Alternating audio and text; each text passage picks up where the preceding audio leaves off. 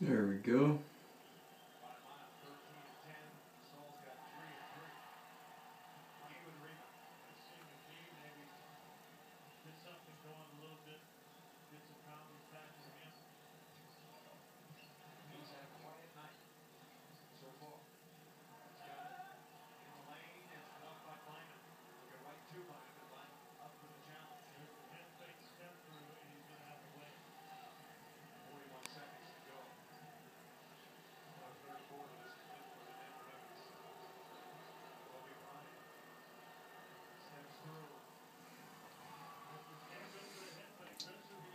Draining some cauliflower here.